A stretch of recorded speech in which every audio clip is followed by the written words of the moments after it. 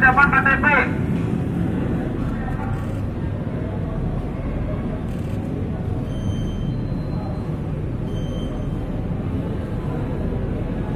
Yang mau tes tes antigen silakan hadir.